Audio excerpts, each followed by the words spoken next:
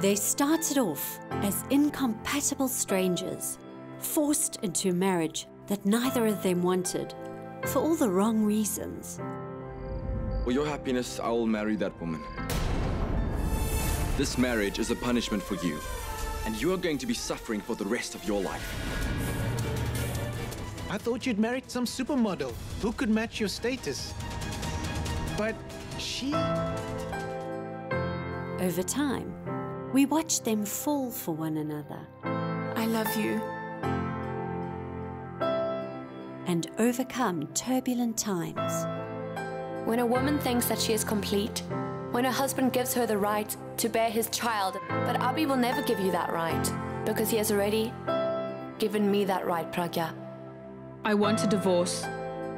Will their love finally get the happy ending they deserve?